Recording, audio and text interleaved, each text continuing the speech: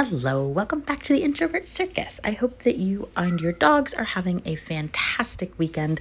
This is some footage that I uh, took two weekends ago when it was not raining. It has been raining a ton, which is fair. It is spring in the Pacific Northwest, or the end of winter and the very beginnings of spring, but this is um, some footage from a outing to the river with the dogs, and they had a ton of fun. And I just thought I would compile it together into a little vlog of just some of the things that we enjoy to do. So, you know, oh my goodness, Sirius had so much fun digging. Digging in sand is one of her favorite activities, as is rescuing sticks, as you witnessed. Stick rescuing is one of her specialties. She is a branch manager.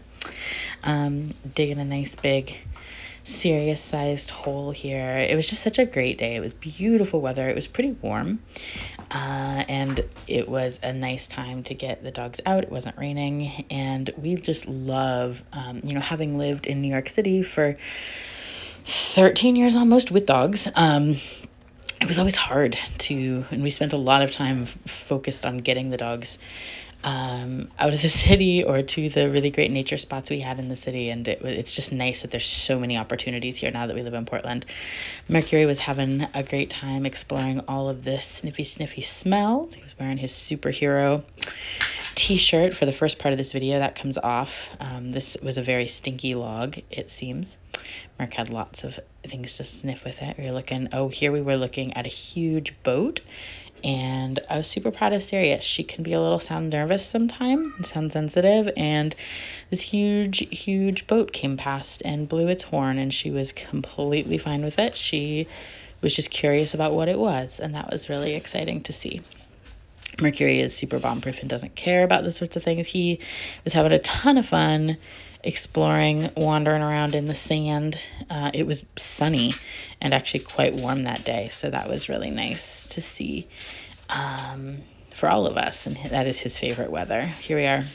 T-shirt came off. I forgot it's a T-shirt that he um, can pee on. So, oops, I had to change change him, pull his shirt off, and it was warm, so he wasn't too unhappy about that. And then there were trails, so we were walking along some of these um, just really nice paved trails, which I'm a fan of. They're nice and wide. Um, this trail was sand back down to the beach, but I really like that at this park the trails are really wide. It is a leash only park, which makes me very happy.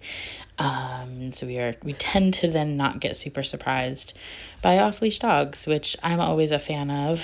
Um, much less of an issue now uh, since Charlotte passed. Um, my two dogs are dog social, but I don't need to engage with people's off leash dogs coming out of nowhere. So that's a nice thing. There were some off leash dogs here, but they were um, much less prevalent than a lot of places. Here, Merc is climbing over some driftwood, enjoying the sand. We went back to the sand to. Um, on our way back towards our car, Sirius then got very, very wet. Um, but it was a really saving sticks. It was a really beautiful day, and you know, any time that I can spend time with my dogs, uh, getting them to fun environments is a really, really good day to me, and I love it when they're both having fun. And Merc was really happy to be out and that's you know so amazing. He's 17 and a half years old so I am just thrilled with watching him have fun. And Sirius dunked her head a bunch of times. We had a really great time. Um just quiet and hanging out at the water and it was really nice you know again there weren't very many people and that just was really lovely to see here's Merc just toddling along. Sirius is walking in the water because, of course, she is. Oh, is she to rescue that stick? No, she doesn't rescue that. Oh, maybe she does. One of her favorite games is, yep, finding big sticks in the water and bringing them to land. It definitely scratches a very, very deep Newfoundland itch for her. And she's very, very good at it. Other than she was wiping her face on us. Because she is, after all, a princess who likes to rescue things and then make sure her face gets dried. Here she is in the water. Oh, big stick. Big, big stick.